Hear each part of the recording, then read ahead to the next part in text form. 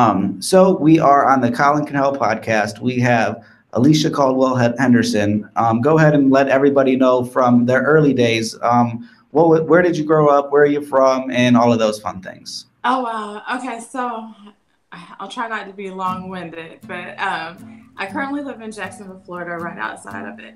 Um, I grew up in Kentucky, though, London, Kentucky, small town. Um, my parents are both from a smaller town, Manchester, Kentucky.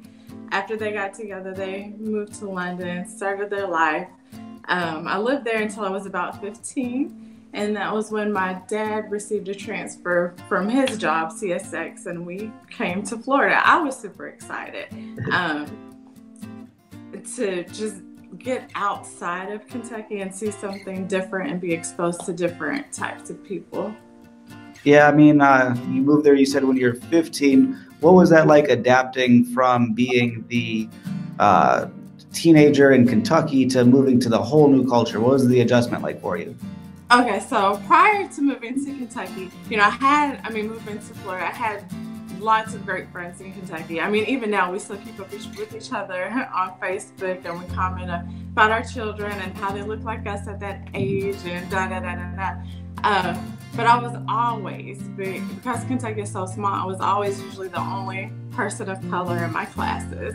So moving to Florida, I was it was it was it was it was a culture shock, but then it was a welcoming one because I wasn't the only person of color in all my classes anymore. There were more people who looked like me who had more of the same interests that I did. So I made some, you know, some good connections.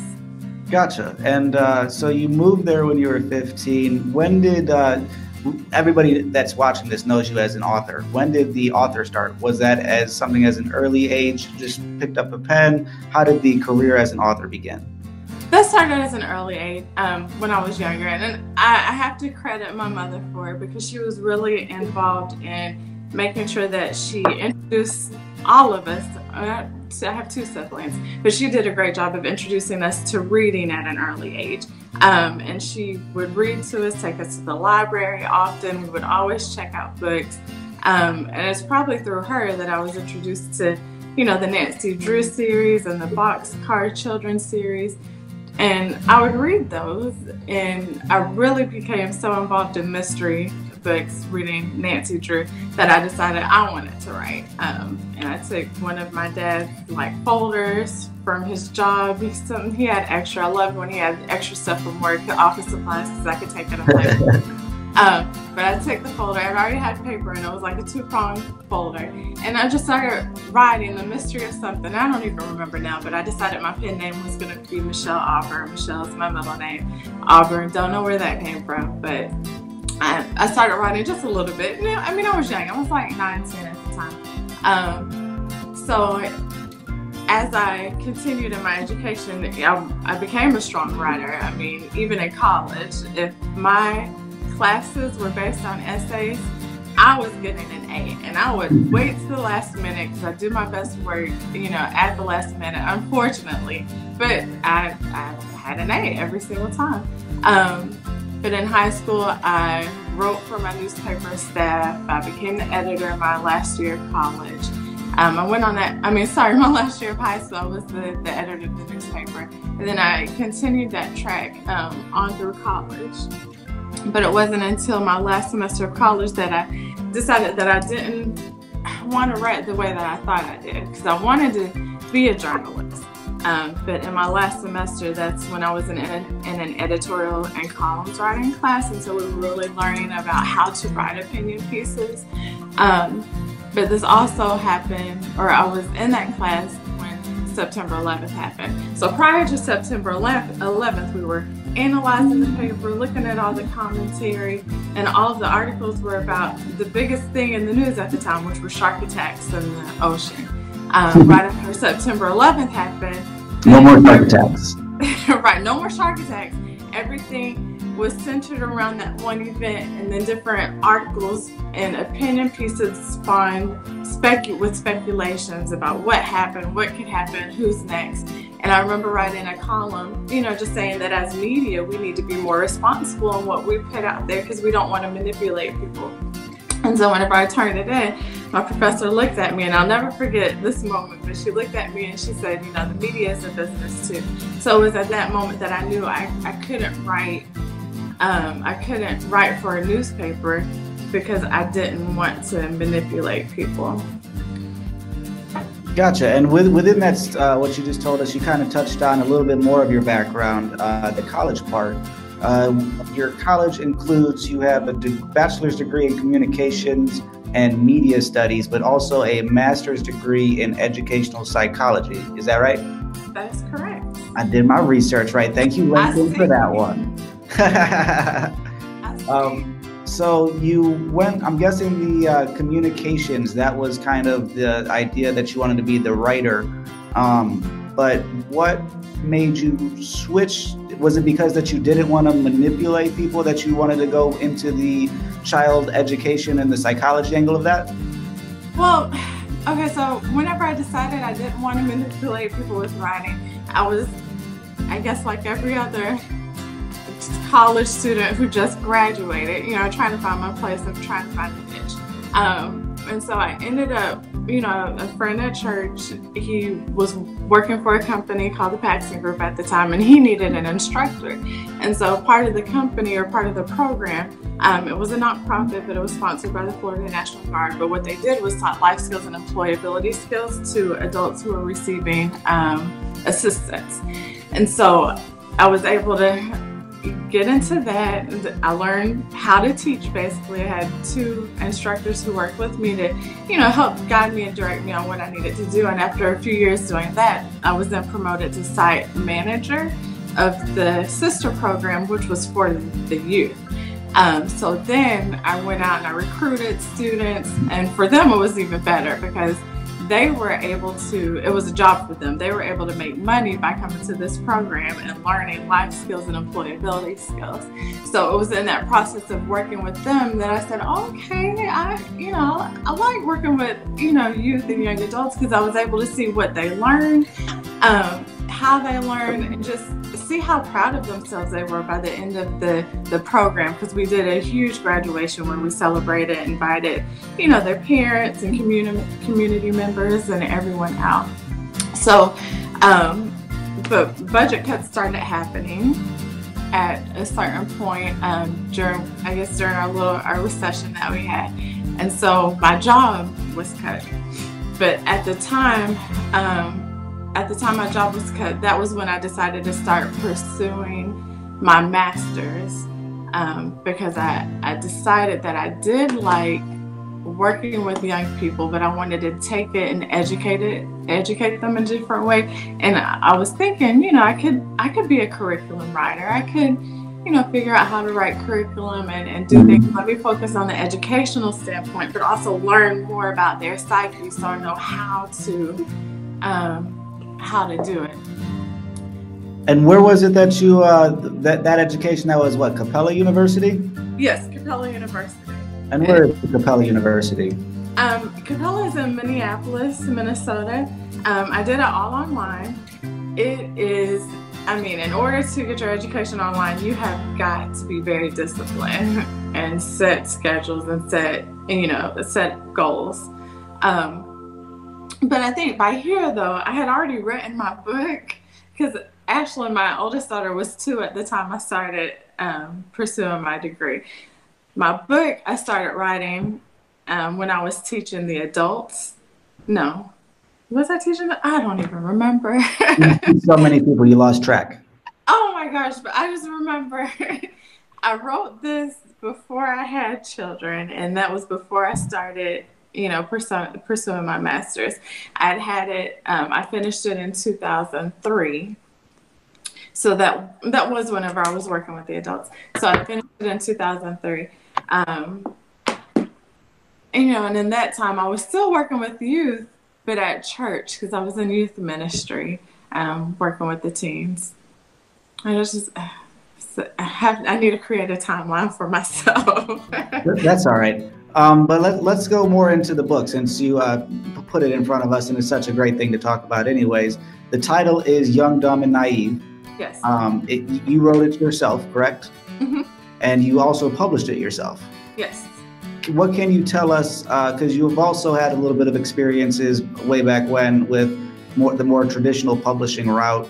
Uh, what can you say as a self-published author? You know, even though you don't have the exact timeline about the whole process from beginning of conception to idea to you're actually printing your own hard copies too, aren't you? Yes. Um, Tell us all about that. That sounds like about an hour's worth of thing. I'll just go walk away and come back and just be educated. yes, stop when you need to. Um, no, so when I wrote it, um, you know, I was teaching the adults? I was active in youth ministry, but you know, I'm also an avid reader. I, I love reading. Uh, my friends and I, we had started this book club, and we just wanted to get together and you know read the same book and talk about it. It was the best thing ever. So they introduced me to an author named Victoria Christopher Murray, and so um, I, her first book that we read was Temptation, about a married couple the wife had to go away for business. She came back. Her husband had slept with her best friend. I mean, there's just so much drama happened in the book. But the aspect that she came from came that she discussed was, you know, just being able to make it through situations, especially when, you know, you're a married couple and you decided or you, you want to be able to stick together, but you this this whole thing that has happened has crushed your marriage. How do you move forward? So I learned a lot through her characters, um, um through her characters, and you just. And I was able to take in some advice that I wanted to be able to to take with me into a marriage whenever I got married. Uh, my husband and I, at that time, were just dating. But, you know, I kind of knew that we would eventually be together. Not to say that I would ever expect a scenario like this in the book, but I do, I did, I was able to learn from, you know, just the interact, the interactions of the characters. So for me, after reading it, I said, you know, I've got this passion for young people. How can I do the same thing for young people, young adults, and address some of the things that they deal with on um, a daily basis. So after thinking about that, I then started thinking about people who inspire me, people who I look at, and anytime I think about inspirations, I can just pick from anybody in my family because they're we've got a large family, and everyone in our family has a story.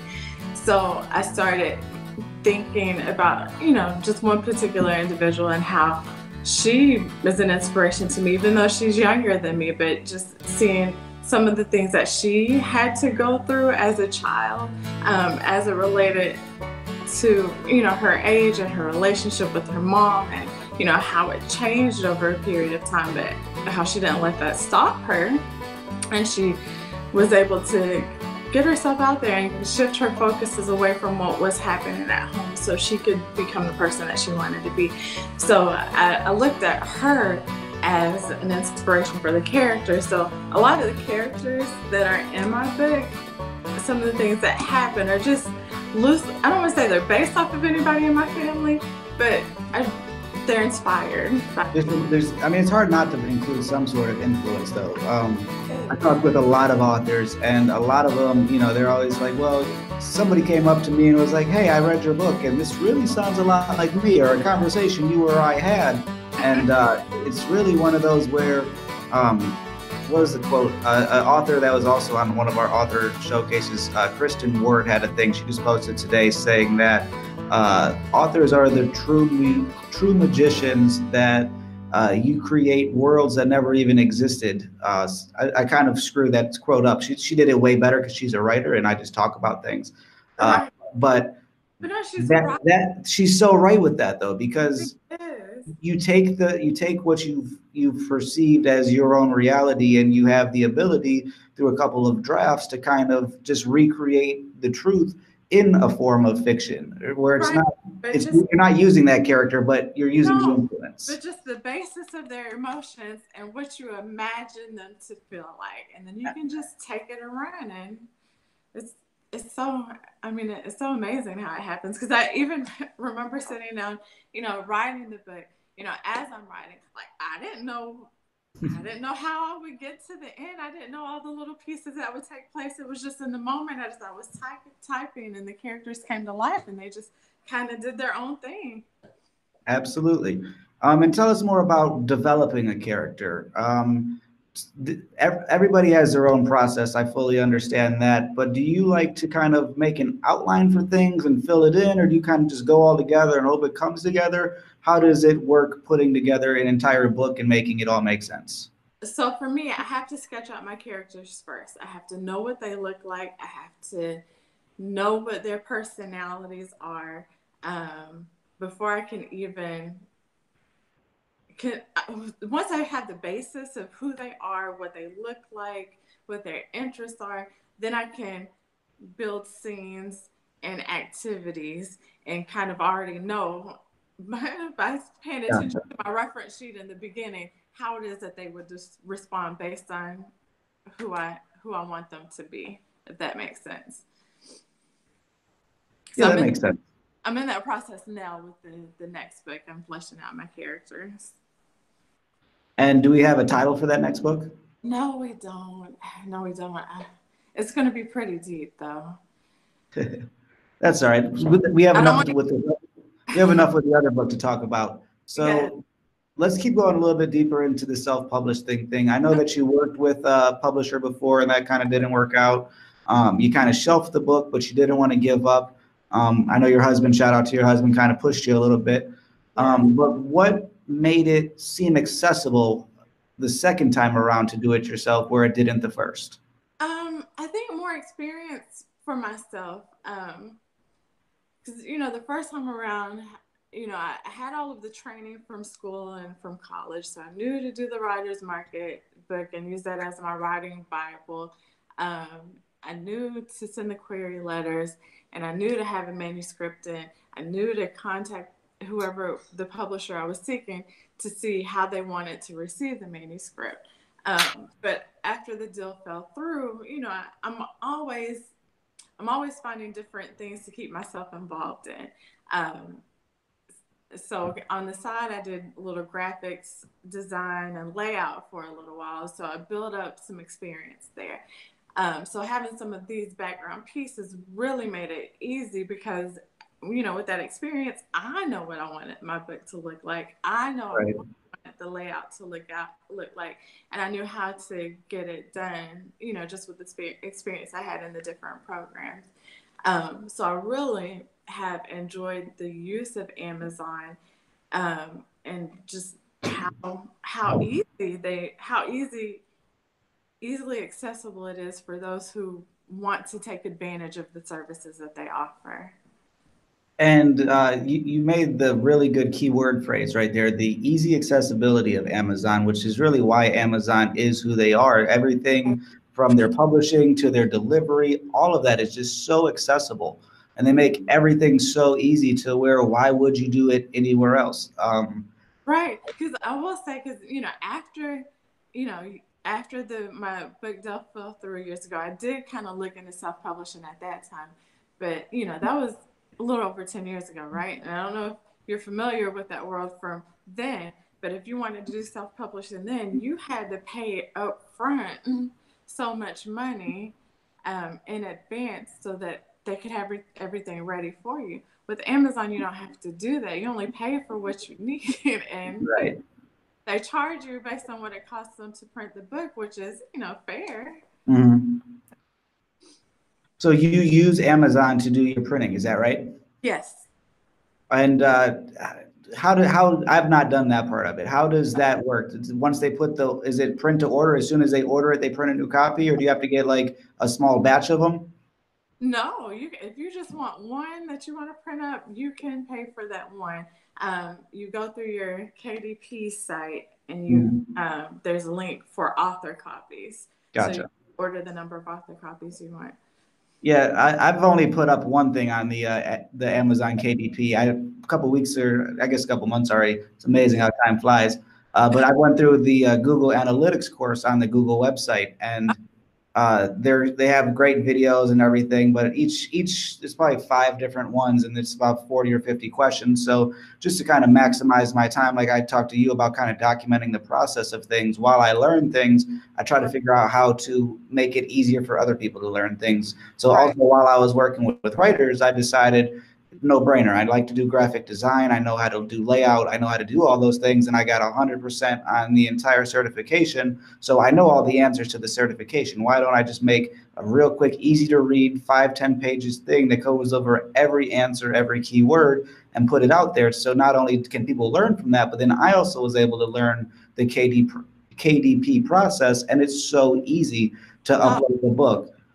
Um, with yours, how did you do the actual manuscript? Did you do it all through Word and upload it? Did you do it through a PDF creator? How did you go about that? I actually did it all through Microsoft Word. Um, and like I said, I have background in design, so I know, like, I knew what I wanted every page to look like. Um, so I've been through several different title changes. So my last edit, when I decided I wanted the, the title to be Young, Dumb, and Naive, I literally went through every single page on um, in Microsoft Word so I could change, you know, the break in the scene because I had something else written there, but I wanted to change it to YDN. so I had to comb through every single page to do it. Um, but no, it, I mean, it was it was easy, simple. And as simple and easy as it is, and you've done, it sounds like just about everything from the writing to the design yourself. Uh, what did you do about editing? Every person that I talk to says that you need, even if you are confident, even if you're an English teacher, that you need to go with a professional editor. What did you do? Um, well, after, because you remember, I, I, did send it out to Walkworthy Press um, to be published through them. So the edits that I had made originally spawned from what they suggested, and then I mm-hmm. sent back to them to gotcha. finalize. Um, so I just kind of left it as it is after that.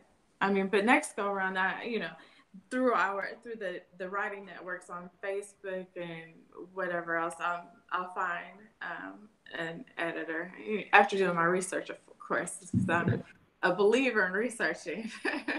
yeah, I mean, anybody that's not researching, you're wasting your time. That you could spend an hour on any topic and be so much ahead of the game. If and I don't know why we live in the information age. We just talked the other day about libraries and accessibility of things, but yet people will read a three second thing on a, a Instagram post and think of it as fact, but not take the extra hour to kind of dive into it and see why is that fact or is that even fact? Right. It blows my mind because there's so much access. Because, you know, we mentioned before you'd have to look at an encyclopedia and hope it's there, but you don't even have to do that anymore. Just Google and sift through the articles that you find. And speaking of Google and articles, uh, what uh, from the educator standpoint? I know uh, when I was going through school, I loved Wikipedia because it made everything easy, oh. but it doesn't really have the same credibility because of the user changes is there a particular um, online resource that you either yourself or recommend to your children or students to kind of go to just as a, a good scholarly resource? So let me just say this. In middle school, we no longer really teach research papers. So we haven't had an actual need for that as of late. Um, we Did you just say in middle school you don't have to write research papers anymore? No, no, no, no. We don't do research papers anymore. Um, so what we spend a lot of time on though however you know we we're not necessarily doing research papers but what we do is we provide students with sources and we do talk about credible sources and ways to identify them and we teach kids to stay away from wikipedia i mean it you it, it can have some good information but you know we don't know that who the credible sources are um, With Wikipedia, I've always kind of my argument was when I was using it for school, college, and high school and things that I ne- never really used the actual article as a source, but the the right. these sources at the bottom, it's kind of is your Google to say, I want this topic. Where did you get this information? And those four or five links, ten links at the bottom are kind of going to send you to the best part of the internet, in my opinion. Yes, and I was going to say the same thing because I like Wikipedia as well, just to if I'm unfamiliar with the topic, I'll go to Wikipedia first and read up about it, and then I'll delve into more resourceful sources. Um, but I usually use it just as my background information, nothing to quote from. Gotcha. Um, and as far as you said, you said a, a, very another good topic, something that I'm working on doing um, a better job. Uh, in school, you're taught uh, to cite your sources for reasons of you know credibility and just to show Right. that you're not plagiarizing. But in today's world, it's uh, link building is a huge thing as far as getting your stuff social media recognized or search engine recognized. And you could take credit for an article or an image or things, but the simple thing of leaving the mention of this music was provided by at Jeremiah Craig or at Kent Archie or whoever music you're using, or if you're using a different source, to be able to link to them um, helps build your own credibility, not only with the readers, but with search engines now. So it's kind of come full circle in the digital age that it's still important, an important thing to do. It is. It is. So um, for us, we're when we're teaching writing and, and teaching extended responses, we're really having our students struggle with.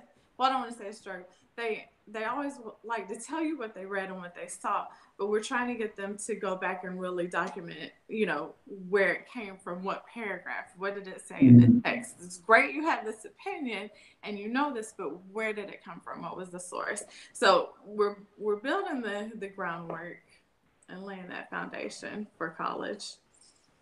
And uh, you just mentioned that you're laying the foundation for college, which um, you uh, you're be a great person for one of my little arguments that I hate about education. Uh, everybody up here, at least in the Ohio school system, they so almost solely teach for standardized tests, and they solely teach to get you into college. Where I don't know if you've seen any of my videos. I'm pretty anti-college. Um, I have gone through college. I always put that I, I do have the two-year degree to make parents happy. But what can you say as an educator for those that are not encouraged by you have to do this so you can make it into college to still harbor that genuine I want to learn feel? What are you what are you as an educator for parents? How can they not stress them out even more about you got to get into college but actually like to learn? So college isn't for everybody. Um, and as an educator, I really do hate having just a one track for all students because all students don't fit that track. And so what happens is that we have a lot of students who can't meet those bars and who may never be, meet those bars. And so they automatically feel discouraged and that school is not a good option, but we don't provide them anything else. Mhm. Um, my sister actually was, you know, not necessarily one of those people, but school was not for her. She did attempt to go to college, didn't work out for her, but she ended up falling into the Stenotype Institute. She's a court reporter. She makes great money, but you know the the problem is we we don't expose students to all of the opportunities that are out there and available for them and in education we've got to do a better job because everyone will not go to college and that's okay there are other tracks i mean you see the reports on the news and in the and you know and online or wherever trades are coming back around not enough people have been doing trades over the course of the however many years because they've all been going to college pretty soon we're going to need plumbers electricians and you know all these people to fill these positions I swear it's like we have like this thing re- fully rehearsed. I know that we've we've had a few failed attempts, but I was just going to bring that up. I, I personally was lucky enough in high school. I went to the vocational program of culinary arts. Um, Right. From like 15 years old, I, I was getting jobs in kitchens, washing dishes, and things like Mhm. that. And I knew there was always going to be a job in a restaurant. So I didn't know how shitty a job in a restaurant really was, but I was able from an early age to go into a two-year program where the first year we learned all about the the business of a restaurant, uh, the how to do the math, how to prepare things, and do all that stuff. And in the second year, we actually ran a full restaurant within the school. And within that program, you know, they had people building houses, they had people doing cosmetology and all those things. Where personally, there's so much more value to those things to to go out and like you said even if it's not for you to be able to say because i'm not a chef right now i mean i'm a marketer before that i, I ran a landscaping company for 10 years But- right I knew from an early age that I had those skills to always fall back on. When when people mention like I'm getting married in a month, I'm catering the whole thing myself. are Like, you Yeah, because I'm cheap. I, I don't want to pay anybody any money. i don't blame you especially if you know how to do it and you can do it well Well, yeah, it's I mean it's one of those you just dust the rust off and you're like, all right, so let's do the math. We got 75 people. We need this much, this much, this much, but you have those skills right where it's equally important to have the skills of reading, like you're saying. Literacy is mm-hmm. huge, vocabulary, all those communication and things like that. But when's the last time you really needed to know 1776? You know, different things like that that we're teaching that are important, but we're teaching them in a boring way. Where if we could kind of teach them the skills, or you go through school K through 12 and you don't know how to do your taxes, think about that. Right. Like, Absolutely. Financial literacy and those pieces need to be there. Um, yeah. Um, yeah. But education has changed. So, you know, I will say, um, with history, and maybe I'm just a history buff and a history nerd, but I have um, a, some of my teacher friends who teach history. If I had had them as my history teachers um, in school, mm-hmm. I would have loved it. Um, we mentioned Oregon Trail the other day. Did you play that? um, not much. Okay. Well, they have this project where they teach their students about westward expansion and they call it Oregon Trail. And just like the game on the computer, they put it on paper and students have to figure out what their position is, how many people are in their family, and try to get them a- across the country. It's pretty cool. yeah, and same too, like you said, like how the financial literacy is important and all these other skills that are important. I, I think that as what you're doing is you have the ability to in the classroom teach the things that the state the government the, the system wants everybody to learn. But then you also have the ability as the author to get that firsthand experience of everything that is going on with the youth of today and then incorporate those lessons that you see that they're not getting and incorporate that into your books and use your platform. Because whether you're in the classroom or in your book or at home or at youth group or wherever you're going, you're still teaching and you're still influencing. I think you're quoted as saying that you are a young adult fiction author in the business of changing lives. Yes, so, so challenging. but within that, though, like it's a challenge, but it's a wild challenge. A, a, every day is different for you. And what is that like as an educator to be able to watch everybody grow and take those skills you're giving them and put them to use? Um, like I said, it's so it's so challenging, but it's rewarding whenever um, whenever they get it, whenever, I mean, even if you're trying to teach, like, for example, I've got two students in one of my classes um, who they don't know how to receive positivity. But I can tell every day I walk in to teach them, they want my attention. Like, they always come up and they say something to me, and it's always rude.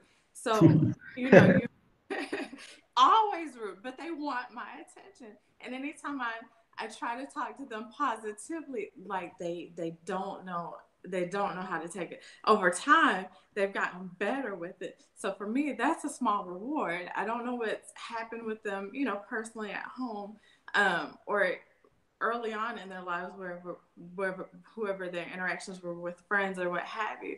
But just knowing that I, I'm I'm winning them over just a tad is a good feeling. Because one of them now, she'll come up to me and she'll just start telling me, you know, things that are happening with different students. And I'm like, I don't know if I really want to know, but then I kind of do. But then I'm like oh, traumatized because I didn't want to know that much.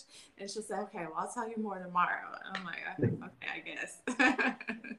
and that um, brings up a good topic of kind of what we hit on the other day of um, there you're not the only author slash writer um, slash kind of being a writer. Um, I was thinking about since our last conversation of people that are writers are instantly thinking of how to turn it into a business, how to sell your book. It's a natural process, but right.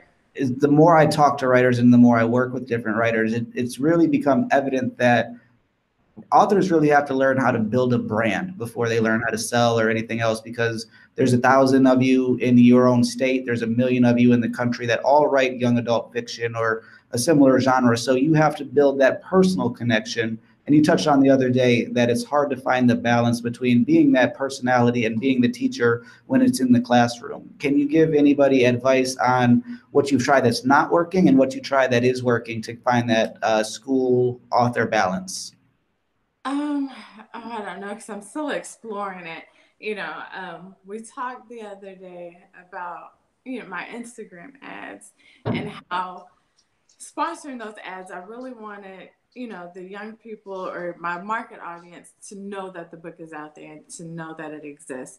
And so with those ads, you're able to specifically target people in certain states. So of course, you know, I chose Florida as the first one, um, Georgia and then California. But what was really interesting was, you know, coming to work every day or coming to work every day and seeing students. I had one person, you know, I'm in the middle of teaching. I'm trying to get them started on what's happening. One individual, his hand was raised, and I kept saying, hold on, hold on, not yet. And then after, you know, I, I said what I needed to say, I went back to him and he said, How come your ad keeps popping up on my Instagram? so it, for me, it's just always finding that fine line because I never want, you know, my administrators or, you know, just my my job to think that I'm, I'm using my platform to solely market books because that, you know, that's not what it's about. You know, at the, exactly. end, of the, at the end of the day, I'm, I'm for you know the young people and having them educated but just not educated tradi- traditionally but knowing how to work with each other and build positive relationships with each other and take those you know into successes um, I, I hate that they're part of this reality show generation because so much so many so much drama they've been introduced to so much drama and so, what young people do is they pattern themselves after what they've seen, and they think that's how they're supposed to interact with other people. And so, there's this whole fight culture and drama related culture that the world star hip hop culture. Right, right. And, and, you know, I've never seen like so many students, you know, so willing to want to not necessarily participate in the fight now, but just watch it and record it to have a video that they can post. Um, you know, and we do a good job of tracking down those to do it. It doesn't happen that often. Um, but just that culture, because I remember growing up and, you know, being that age and my influences were the Fresh Prince of Bel Air, you know, a different world, the Cosby Show. I'm like, okay, so that's what I want to be like. But here they've got world star hip hop, like you said, and the Girls Fight Club that was on for a long time, and then you've got all the real housewives shows, and everything's just about drama. Well, what's funny to me about like the the Real Housewife shows and uh, the Kardashians and all those other ones that we call reality TV, that you know they're the kids are watching, soaking this up like those are the real lives, not realizing that there's 18 producers, 47 people of lighting. There's, you know, stylists, beauticians, all of the above to then get 30 seconds of footage that didn't actually happen real. Right. There's no reality to reality TV shows, but people are soaking it up like it's the gospel. Um, not, not to mention all the events that they have to pre-plan in order to get footage. Like they don't see those things. Absolutely. But on that note, let's see how we could get the technology to work because we just talked about Instagram and we were talking about getting the videos and everything else. And as I was working through doing some research on your stuff, let's go uh-huh. right here, share that one. You click this one. Oh, look at that. That's you on the live stream there. And now we are on your Instagram page. Yes. Um, you are very active on Instagram. Uh, you've got 270 followers. Congratulations. Thank you. I'm trying to get to 500. That's super easy to do. With the, the, tips that I gave you the other day, you'll be there in a month. Um, but something that I wanted to point out is we're looking at 31 likes, 32 likes. Your average is thir- about 30 to 40 likes on a post, okay. um, on a picture post. Okay. But when you come to your video, 64. We got another video that was down somewhere around here, 102. Oh, yeah. 65. See, my so, children bring more likes. I need to include them more. Well, not only your children, but the, the point that I was trying to make here is your videos, whether it's just you saying hello to people or just kind of give them the update, almost every one of your videos is doubling the performance of your um, of your um, regular. regular picture posts. Um, have you noticed that? And now that you are aware of that, um, do you think you should make more video posts? So, yes, and yes. And that's one thing that my husband does talk to me about all the time is doing more videos because he tells me constantly that people like watching videos. Um, so I need to do the. So um, with him, because I know we didn't talk about him much last time, but he he does music. Um, he does music. He's got a st- studio and he's got a company, Studio Cafe. So he's launched, you know, some some musicians into the world. So he pays attention to these little things. He's like, oh, you got to do this, this, and this. So for a while, he he was kind of sounding bossy, and I didn't want to listen to him. or I would put it in my head, but you know, I say, okay, I'll do it later. But no, it, all of you are correct. I do need to do more videos.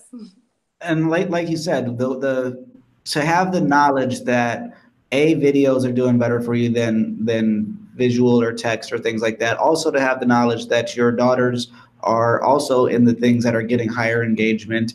Um, being able to just use those baseline analytics, not even using like the graphs and everything that they provide you with, right. um, could then just help maximize your time. Same like you said, you need to do more video.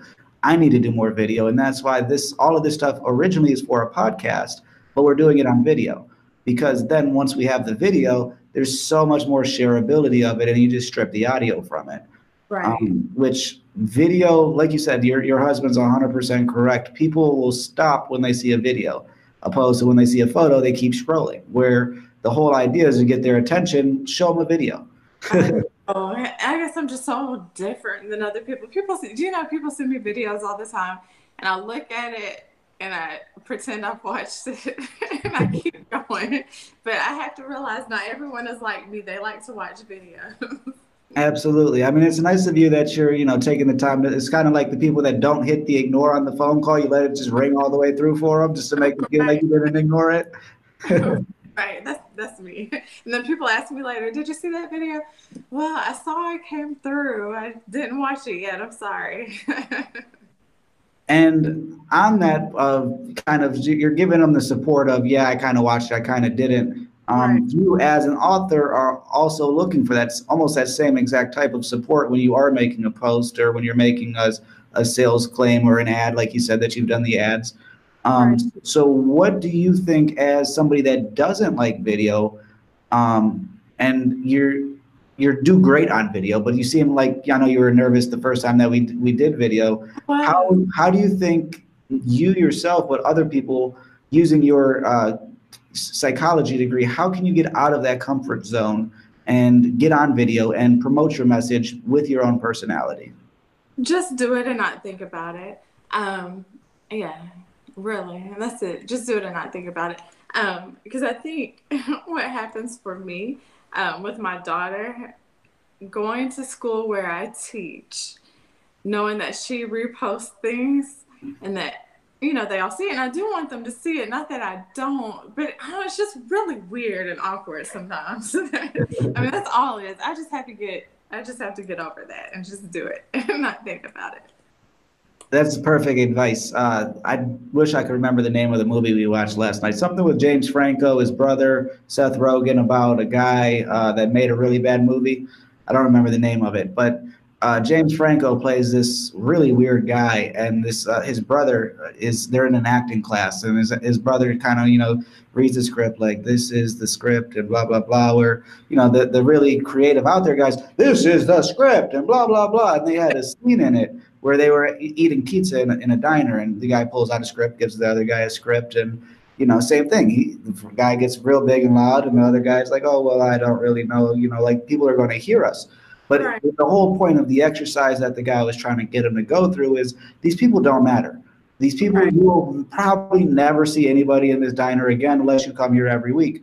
Right. Where to, to let yourself express yourself, if you really want to be an actor, you can't be worried about people's impressions because you're not going to please everybody. Or as an author, you're not going to have all five star reviews. I don't have all five star reviews on my podcast, but you have to be able to take that feedback and flip it mm-hmm. and say, all right, well, I could do something with this. At least you watched it. Thanks for watching it. You thought it sucked. It sucked, you know? Right. and as somebody that teaches kids, how can kids get better um, to accept criticism? Because it's something that's a, a, dying breed, I think. Oh my gosh. I, I'm still trying to figure that out myself because, you know, teaching middle school, you know, they're at that, you know, they're going through so many hormonal changes. They don't take criticism at all. They hate, they're, they're quick to want to address conflict. I I don't know. We're still I'm still trying to figure that one out. Um, I guess I don't know. You know, when it comes to acad- you know academically, um, data speaks for itself. So we always, you know, do assessments, let them know, you know, how they're performing on certain standards or in certain areas academically, and just having those one-on-one conversations with them to where it's small and it's just, you know, you and the student, and they they've got a chance to be they're away from their friends, so they don't have anybody they have to perform for or mm-hmm. say anything or say anything to or defend themselves.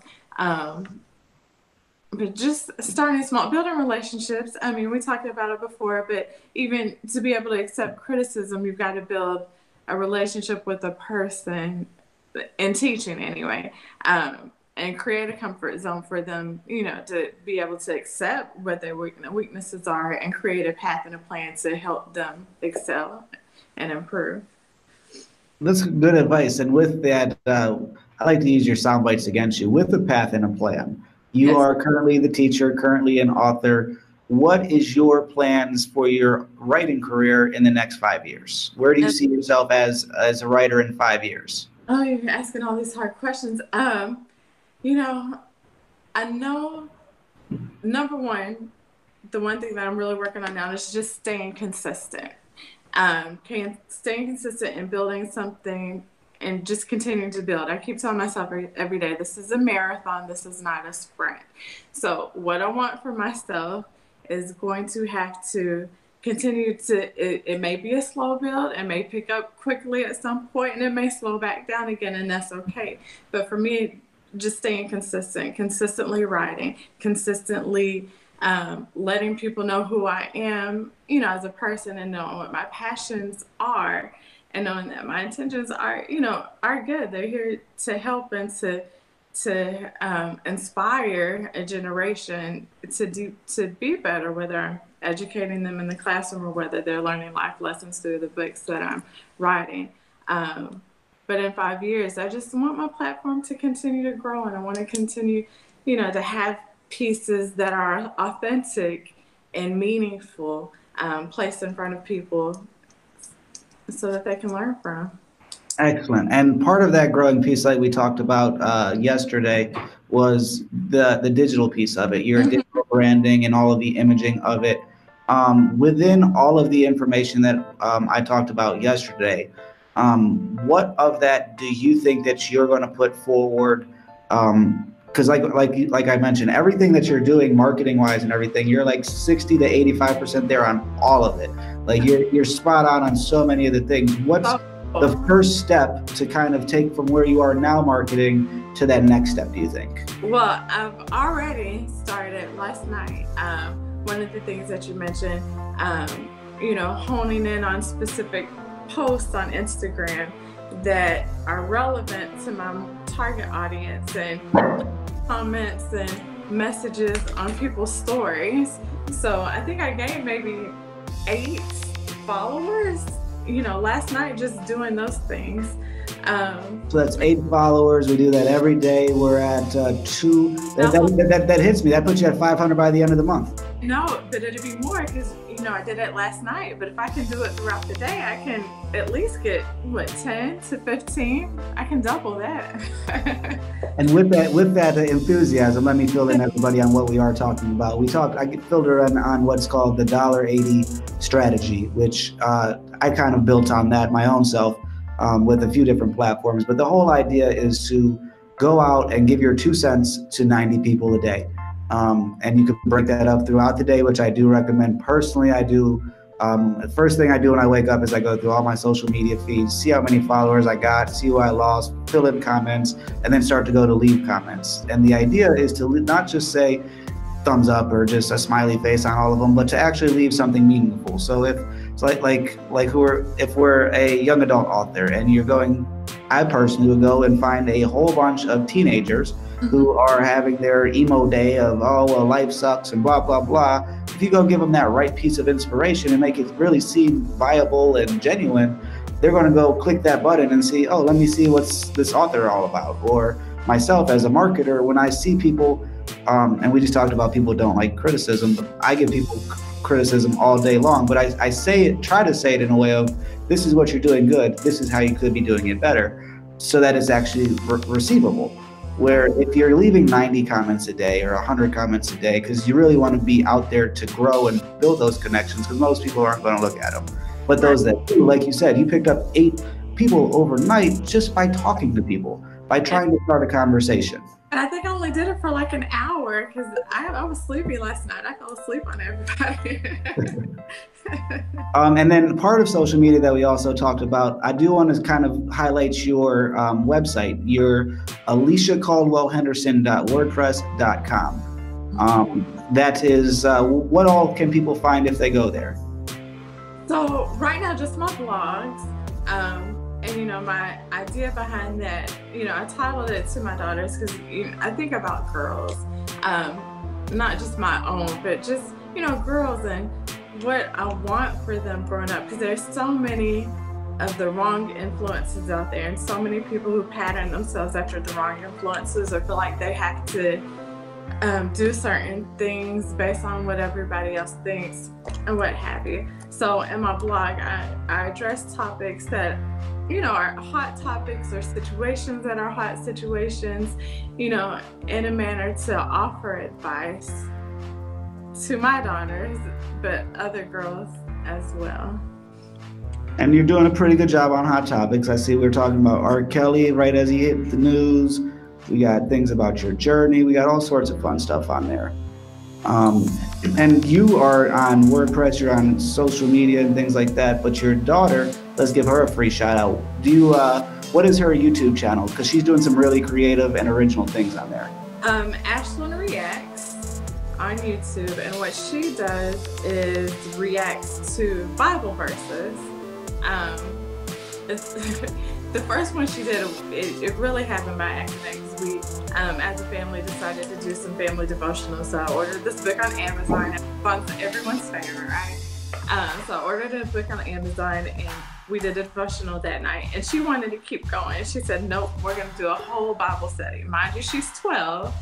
Um, so, you know, we love the energy. So anytime there's some positive energy coming out of her, and we're like, okay, we just run for it and we, we do, we go, we, we do it. So she pulled out the Bible and she said, okay, so what book are we going to? I said, well, my favorite book is Proverbs, and my husband was like Psalms. And then our six year old didn't even want to participate. Anytime we do devotional, she thinks the world is over and we're killing her.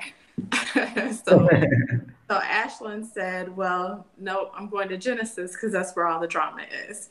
So she picked up in Genesis and she's been doing her reaction videos for over a month now um, following the story of Jacob. Um, when she did it initially that night, she didn't record it. We were just listening to her read because she we let her take you know take ownership because that's what she wanted to do have the Bible study. So she was reading, and as she was processing, she was making faces and then commentary like, "That's not right." Nice. So we we were just laughing at her because it was so funny to hear her reactions. And then we said, "You really need to record yourself doing this because it's so funny." And and she has. Um, she's even invited on one of her friends, and they did one um, part of Jacob's story where um, he was married to Leah and married to Rachel but of course, he only loved Leah, really. He was tricked into marrying. I mean, he only loved Rachel. He was tricked into marrying Leah. And so, in those verses specifically, you know, she's having children and she's like, oh, surely he'll love me now. So she and her friend, they, they stop and they're like, um, having a baby is not going to make a man love you. so it, it's interesting and it, it, it's cool. I'm proud of her. She's very ambitious, but I guess she can't help it with with parents like she has because neither one of us can sit still. Our hands are always in something. Nice. How do we spell but she's doing really good. She's got 33 subscribers. I just made it 34. Oh, thank you. Um, but yeah, her first video, she's got over 100 views. Yeah, she's got 140 right there. Let's put the screen on so everybody could see what we're talking about here. Click yeah. that. Oh. And there we oh, are now. Yeah. We, we've got Ashlyn Reacts, and that's two S's A S H L Y N E R E A C T S S for everybody on the podcast that has no idea what we're talking about about these things on the screen. Yeah, this is um, how the people write now. And as a author, as a reader, you're not supposed to judge a book by its cover, but you also design covers. So what do you look for in a book, physical book? Well, it's got to be attractive to me. I mean, for me, just with that graphic design background, right? I don't want to see like dark like a dark cover and dark print because I can't read it. I can't if I have to do too much work to figure out what's going on, I, I just automatically just move on. I, I, can't. It's it's gotta, you know, you learn about white space and the spacing, and you know, I look for all those things. I don't like too too many things that are busy. And something that I've been thinking about more and more, um, because my home internet is awful, and I'm always at a library to do my uploads and things. Yeah um, everybody's, you know, you have the don't judge a book by its cover uh, slogan, but as a designer, what do you think? I personally think the spine of a book is far more important than the actual cover, being that every book in a library is spine. What what can you do on the spine part to really set yourself out? I mean, there's not a whole lot you can do because if you start experimenting a lot, then it becomes too busy and then people kind of look past it because they're trying to figure out what's going on, right? Um, so as far as the font, you want the font to be clear and you want it to be bold. You want it to be something that's easy to read. And if you're contrasting, if you're using colors, make sure they're contrasting colors so mm-hmm. that the type, you know, is set out. Uh, yeah.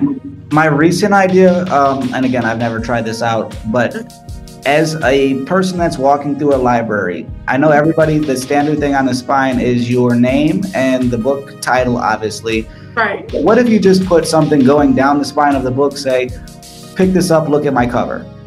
You know, that would get people's attention. It would get people's attention. And I think, too, it'd be one of those as, I mean, you're, you're sending your books and things to different libraries and different right. uh, bookstores. As somebody that's so, they see books every day. Right that one difference because again you're not looking at anything other than that thing to catch your eye but if if you have a black cover and you have a bright orange thing with white or black text that says pick me up or anything like that call to action thing you're instinctively going to be like what the hell is this? But listen the, the first person to do it will have started a craze so I guess that means I got to hurry up and finish yeah. a book so I can do that, right? Because right now my study guide isn't a thick enough thing to really make that that that, that functional. But yes. And on that same note, what is something that you in the next months or years are going to think out of the box with marketing um, to kind of get out of your your own comfort box? What's something that you want to try as somebody that also has a bit of a marketing background? Never considered myself to have a marketing background. if, if you do graphical design, you can't say that you don't know marketing because okay. all marketing is is packaging. um, I don't know because, like I said the other day, you know, I feel like I've just dropped into this world because you know I finally made up my mind to just go ahead and do it. So I'm looking at different pieces and I'm learning and I'm figuring out how to project myself further so I'm looking at, I'm not opposed to anything. So I'm reaching out to people locally who have events. There's um, a foundation called Blue Skies Foundation. I reached out to them a couple of weeks ago because I see they do like this local authors and artists kind of thing. Um, so we're talking about doing something in the summer. Um, I, I don't know outside of the tra- you know I'm still trying to wrap my mind around doing some of the traditional things that I haven't really thought about jumping outside of the box just yet. Um, I don't know, but I'm open. Open. So when, whenever I come up with a crazy idea, keep throwing it your way. I got it. oh, please, because I'll say, okay, how can I do it? So you know, after we spoke yesterday, um, my daughter decided, you know, Ashlyn decided she wanted to talk to me too about my book, and I forget what this is called. I don't want to yell at her, but it's some type of little video where you sit and you talk to people while you're eating. Um, I don't know the name of it, but I know those things are huge in like the Asian countries. Okay, so she wanted to do that yesterday, and she she discovered that DoorDash delivers to us. So she used her money and ordered sushi and soup, and we sat and we did a video. So I mean, I guess that's I consider it out of the box too. I don't know. I don't know. I'm I don't know. I'm just pilfering my way through, and if something jumps out at me, I'm like, okay, let's do it. Absolutely, and and having that open mind, I think, is what's going to give you the edge and be, make you able to really uh, keep selling more books and and really building that brand. Is because um, just like everything that I, we've talked about, as soon as you hear something and you're like, "There's some merit to that," you pick up that pencil that's been in or that pen that's been in your hand, and you're like, "I'm going to write that down." And you also you're have the also the the collective knowledge to be like, I'm going to write this down and go back to it and read more about it to to go at it and try new things. So with that, I think you're ahead of 90% of the people in your author group that are so confined to what it the I guess just the social image of an author is just right. the like I don't need to market. I, I I make a quality book. Like nobody cares about your thousand page book. They really don't. Like nobody cares about anything other than the personal connection. And I think, like you said, having those videos with your daughter or hopping on podcasts and in the same area where you're reaching out to libraries and people for events, do the same thing that I told you for the, the going through the explore and type in podcasters, YouTubers, and start making that connection. I did that yesterday. Last there it is. because just like you're learning with with the podcast thing and there's the two angles of it from my angle of it i get to talk to people i get to get you know with the hour that we spend i should be able to get 10 to 15 pieces of content out of it right. so then that helps me do what i do and then helps me build my portfolio but then also we're talking about your book and everywhere that any of my stuff goes your links to your book is going to be and people are going to see you they're going to be like oh this lady is a human she teaches kids she's a great lady we should probably help her out so like you're you're building your brand and you're building it in a fashion that's good for you. So keep doing what you're doing. Thank you. So let's wrap it up with the last little bit. I want to focus 100% about your book for the last five, about five minutes. Um, it is a young adult fiction. Mm-hmm. And you're like young adult fiction because you deal with young adults and you want to help teach them. Um, but where do you see any other sequels coming to the book or how do you plan because i know we talked the other day where you're not the movie thinker but you know everybody in your family is the movie thinker how can you help build not only your own brand but the brand of young dumb and naive um so what i'm thinking um or what i what i really want to do with it is you know like i shared with you guys before that each like the characters or the main characters are spawned from inspirations of people in my family, right? So I've got one younger cousin who was the inspiration for the character Zerica. Um, but I kind of want to leave this with, you know, just Zerica, right? So my next book, I have another cousin who's younger, who he is the inspiration behind the story for my next book. Um, and that one is a little bit heavier because it deals with the relationship, the close relationships that you have with people you love, but but they are suffering through addictions.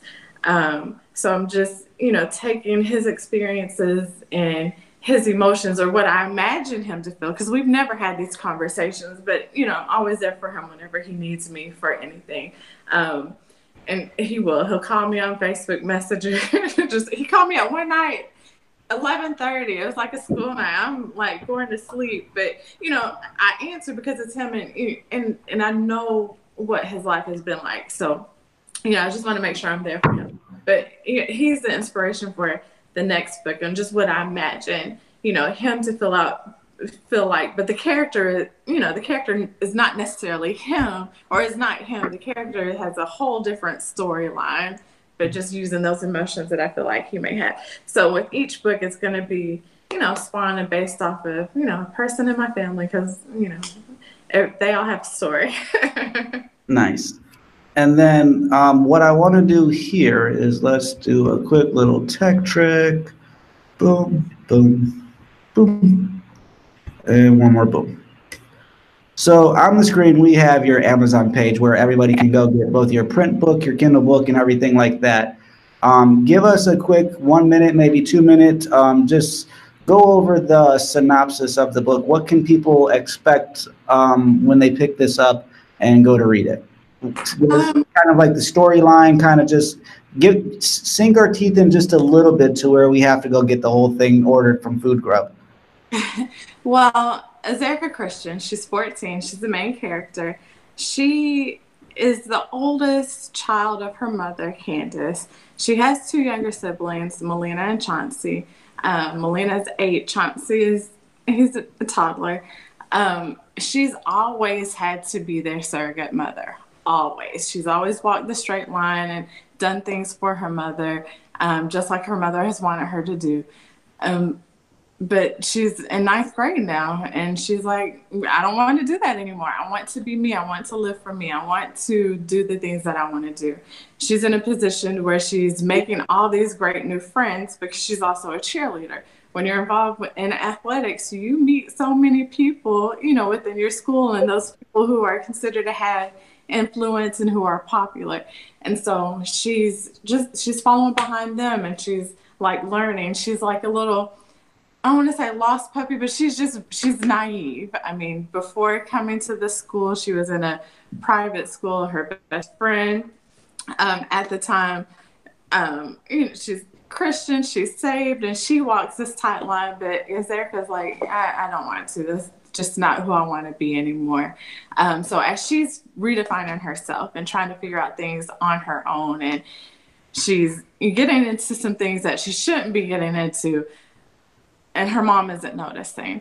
And one of the main reasons why her mom isn't noticing is because her mom's life is falling apart. Like her mom needs her even now more than ever because financially she just doesn't know what to do. She's not getting the financial support that she used to.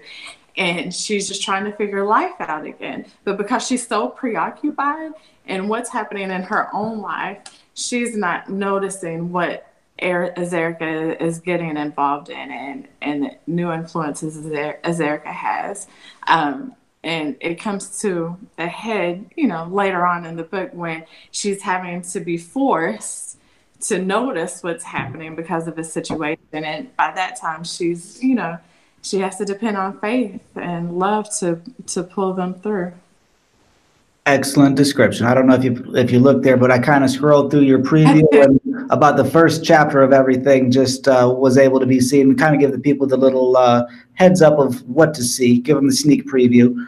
Um, and just from that one little bit of chapter that I was just looking at through, like you do a really good job of being that it's for the young adults, like you could already tell, like through, through the words that, that it's not written as a, a, teacher that's trying to talk mm-hmm. to them in the thing. Like you could already tell through the language and everything of the dialogue that it's it's written for the teens, but it's also by somebody that, like you said, you have the the psychology background, you have the ten plus years of being in the classrooms and teaching and doing all those things. So you you know how to interact with them, you know how to communicate, and that's the biggest part of telling a story is just finding a way to communicate with your preferred reader. So I think you're doing the spot on job with that one too. Good, look at you go. I'm trying. Like my my my mo in life is whatever I do, I need to be the best at it. Absolutely. Whatever it is, in whatever moment. That's always my goal. So let's just do a quick one, two. Uh, let's get like two sound bites out of this, and we'll clip okay. them out. Um, we'll put the screen on me. Um, everybody, it's Colin of Colin Can Help, and I want you to go check out the new book, Young, Dumb, and Naive. There's going to be links in the descriptions. It's a fantastic book for young adults, and if you don't check it out, you just messed up your entire life. So that's a, a quick little soundbite. Um, I'll do a couple more of them for you, but if I could just get you to give me a quick, you know, this is uh, this is Alicia Caldwell Henderson, Colin Can Help podcast, one of those type of things. Okay. Um, how long do you? What else do you want me to say in it? Like, just say, you know, this this is who I am. I was on the Colin Can Help podcast um, check it out. And when you're done, check out my book or something like that. Hey, this is Alicia Caldwell Henderson on Colin Can Help podcast. I've had such a great time talking with Colin today. Please um, take a moment, check out my book, Young, Dumb, and Naive, and enjoy the listen.